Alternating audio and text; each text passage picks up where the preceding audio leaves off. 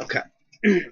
Haia, uh, um, Ed a Gwyneth, um, message bach um, i ddeud llongyfarchiadau mowr am...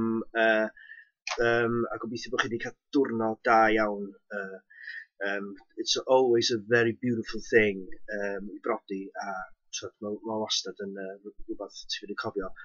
Um, Dwi'n gwybod dwi wedi bod yn meddwl am, so, byddai'n meddwl am y pethau yma, especially pan mae pobl yn prodi, um, dwi wedi cael ytha'r syniad newydd yma o um, cymryd um, dates mae pobl yn brodi, da, a wedyn um, troi nhw i diwns. Felly, uh, dwi wedi gwneud hyn, so, a bod chdi wedi prodi ddoe, dwi'n cymryd bod chdi wedi prodi ar uh, 11th of May 13, ti'n gwybod? So, mae'n um, 11, 1, 1, uh, May o 5 a wedyn 13. So mae'n 1-1 0513, ia?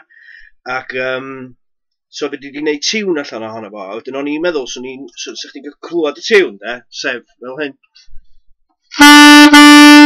Y 1-1, de? A wedyn, sef 05, de? A wedyn,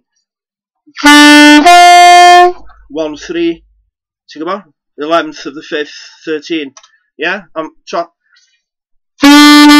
Dwi'n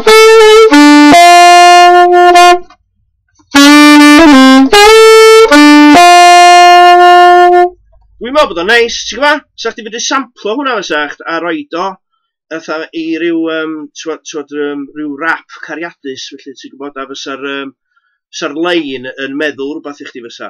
Ti'n gwybod? Fysa, um, um, beth ti'n galw fo de, yn atgoffa chdi o'r, or diwrnod prodas felly. Yeah? Once more, man.